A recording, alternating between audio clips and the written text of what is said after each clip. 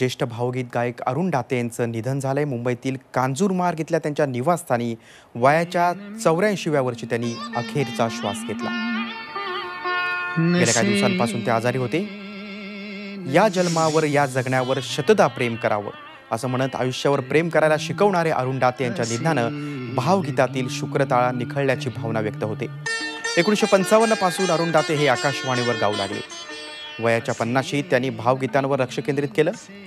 भातुकलीच्या खेळामधली शुक्रतारा मंदवारा शतदा प्रेम करावं स्वरगंगेच्या काठावरती अशी अनेक गाणी अरुणदातेंनी आपल्या सुरांनी अजरामर केली. शुक्रतारा मंदवारा हे त्यांचं गाणं विशेष लोकप्रिय ठरलं.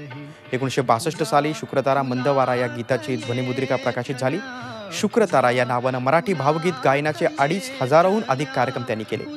चार मे रोजी अरुण डाते यांचा वाढदिवस होता. त्यानिमित्त पुण्यात एका कार्यक्रमाचं आयोजन करण्यात आलं होतं. मात्र प्रकृती अस्वस्थामुळे ते कार्यक्रमाला उपस्थित राहू शकले नाहीत.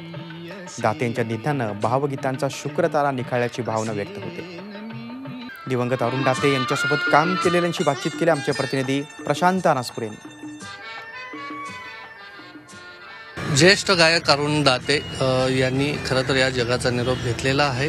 अचानकपणे आलेली ही दुःखद बातमी त्यांच्या चाहत्यांसाठी एक धक्का होती. माझ्यासोबत आता अशी काही मंडळी आहेत की ज्यांनी अरुण दाते यांच्यासोबत संपूर्ण त्यांच्या वेगवेगळ्या कारकिर्दीच्या टप्प्यावरती काम केलेलं आहे.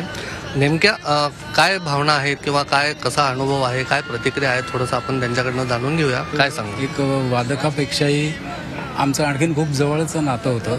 कारण ॲज अ सिंगर गायकापेक्षाही ते माणूस म्हणून खूपच स्वभावाने छान होते आणि त्यांनी आम्हाला कधी एक वादक अशी ट्रीटमेंट नाही दिली.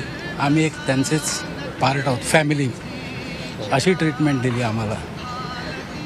तर ते गायक म्हणून मोठे होतेच पण माणूस म्हणून किती मोठे आहेत ते आम्हाला आम्हाला त्यांच्याबरोबर एवढी वर्ष राहून ते जाणार आमचा एक स्नेहबंध वाढला होता. आणि शेवटपर्यंत आम्ही त्यांना भेटलो होतो. आत्ता पण आम्ही पंधरा वीस दिवसापूर्वी आम्ही भेटून आलो. त्यांना. आणि असं होईल लगेच असं काही वाटलं नव्हतं. पण वीक झाले होते खूप. आणि वाईट वाटलं की एक मराठीतला एक माइलस्टोन आपण म्हणतो. तसा अरुण दाते होते आणि रसिक श्रोत्यांना तर मोहिनी घातलीच. आणि त्यांचं एक गाणं आता एका मित्राने मला पाठवलं असे न मी नसे न मी. उरेल हे गीत शांता शेळक्यांचं काय ते तर ते अगदी सर्वार्थाने योग्य वाटतं.